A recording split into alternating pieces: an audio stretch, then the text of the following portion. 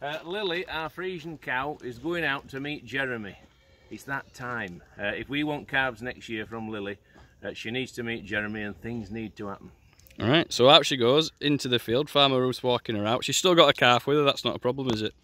Not at this time of year. It's uh, it's, it's, obviously uh, a lovely time to be out. She's taking her turn to be outside, enjoying the summer grass and, uh, and living her best life.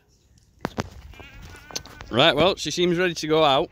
Um, Lily's having a look over that fence already. She's already seen Jeremy out in the distance. She's roasting to him already.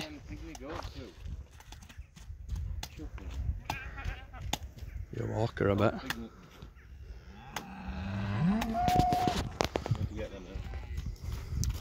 Right, here she goes. We've got a couple of fields to take her through, but come on, girl.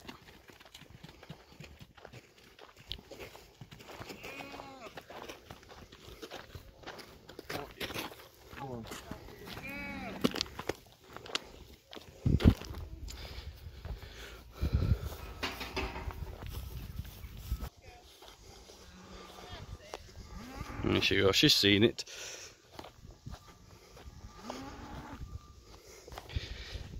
And there she goes. Out into the distance and Jeremy is just over there with the rest of the shorthorns. She should really head straight over there. Jeremy's fast asleep over there at the minute. You can't just see him. That's him just there. Yeah, I don't think he's realised just yet. Oh, heads up. And he's up.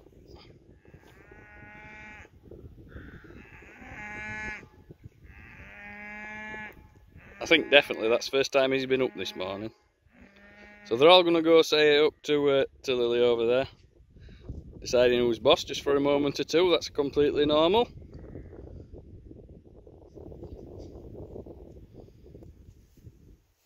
And all being well,